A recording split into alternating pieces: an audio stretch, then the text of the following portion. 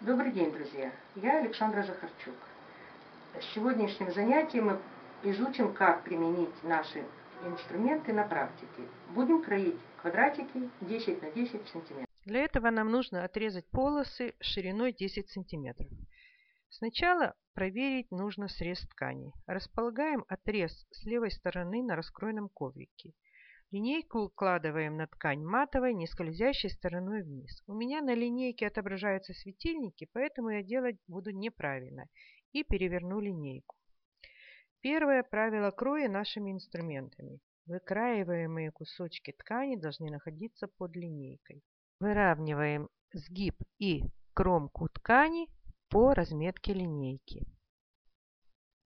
И видим, что лишний кусочек ткани нужно отрезать. Неровный край мы выровняли.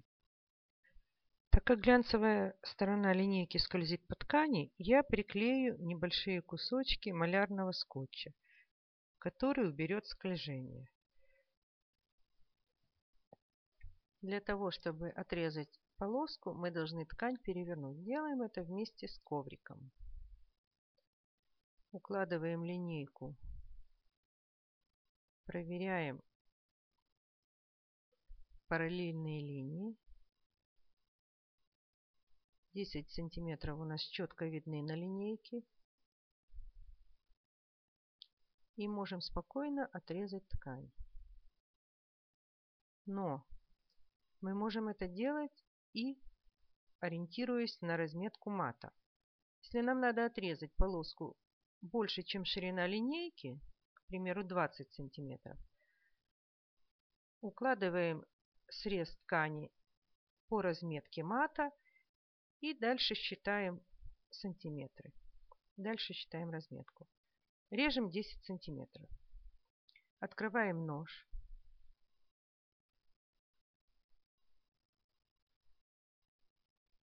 Нож должен упираться на линеечку. Нельзя наклонять нож, так как мы сделаем порезы на мате, и он не восстановится. Вот так нельзя делать, только ровно.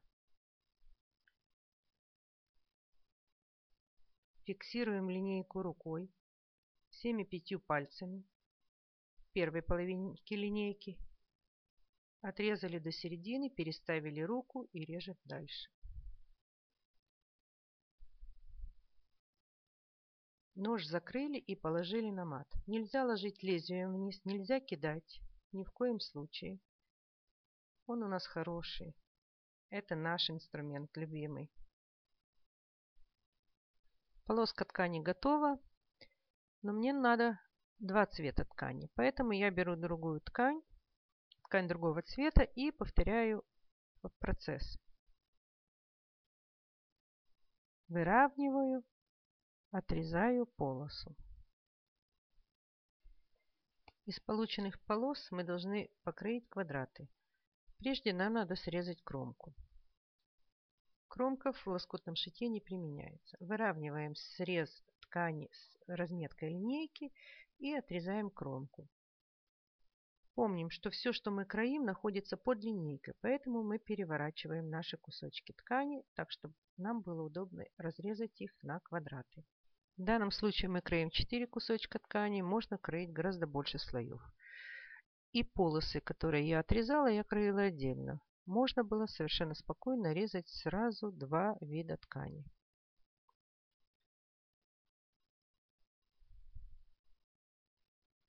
С этим инструментом лучше работать стоя, так как линейка имеет толщину 3 мм и угол зрения немножко изменяется при сидячем положении. Вот как видите, за несколько минут мы покроили 20 кусочков ткани. Можно проверить их на мате. Для удобства мы сложили, складываем их столбиком. Наш урок закончен. Всего вам доброго.